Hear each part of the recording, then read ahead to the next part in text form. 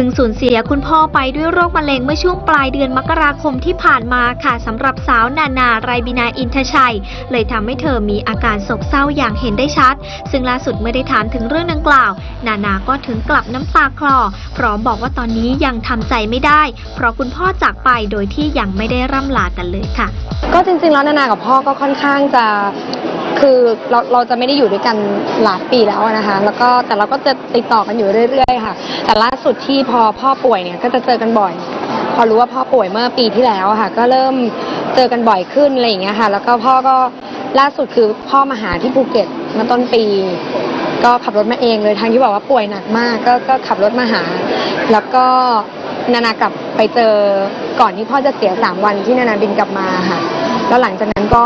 ก็คือได้คุยกันเยอะพ่อก็ค่อนข้างจะรู้แล้วว่าเขาก็เขาก็ไม่ไหวแล้วจริงๆอะไรอย่างเงี้ยค่ะแล้วก็เราก็จริงๆเราก็อยากให้เขาอยู่กับเรานานๆคือนานาไม่ได้อยู่ตอนที่พ่อเสียเพราะนานากลับมาแล้ว แต่ตอนที่ก่อนพ่อจะเสียสามวันอะไรเงี้ยนานาก็ก่อนจะกลับมากรุงเทพนานาก็บอกเออมาพ่อเขาบอกกับเมย์ว่าแบบฝากหลานๆด้วยนะอะไรเงี้ยเหมือนพ่อเขาก็เริ่มรู้อะไรเงี้ยค่ะแล้วก็หลังจากนั้นก็พอกลับมาก็ก็บอกพ่อว่าให้พ่อ พักนะ ถ้าเกิดว่ามันไม่ไหวจริงๆอะพ่อสู้เท่าที่พ่อไหวเตรียมใจนะ แต่พอถึงวันจริงก็ทำตัวไม่ถูกเหมือนกันนะก็พอเป็นอย่างนี้ก็มันก็ทำใจยากนิดนึงแต่นะว่าเวลาแหละก็เดี๋ยวก็ช่วยให้ดีกันมันดีขึ้นเพื่อนก็จะรู้ตั้งแต่พ่อป่วยอะไรอย่างเงี้ยค่ะแต่ก็ก็หลังมาก็คือเพื่อนๆก็คอยให้กำลังใจตลอดอะไรเงี้ยค่ะ ส่งข้อความมาโทรมาบ้างอะไรเงี้ยค่ะ แล้วก็ช่วยเรื่องงานศพคือนานาแบบวัน วันที่จัดงานศพให้พ่อคือมันทั้งดีใจเสียใจการสูญเสียนะคะ แต่ดีใจว่าเออเราแบบมีแบบคนส่งพ้องเรียนมาเยอะมากคือแบบเขาอยู่ไกล คือแบบบางคนที่เราไม่เคยแบบ ไม่เคยแบบเจอกันนานอะไรอย่างเงี้ยเขาเขาส่งมาหรือแบบ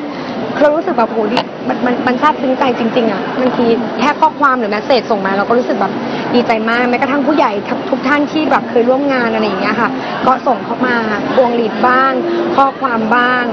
มีร่วมทำบุญบ้าง